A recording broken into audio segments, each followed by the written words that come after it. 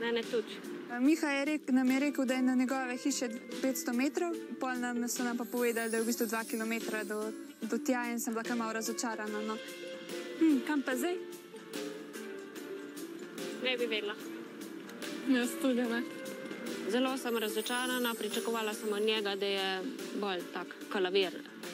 Pa še pokopališče, kaj je to zdaj? Ja, ma mogoče kaj pri pokopališču hiša.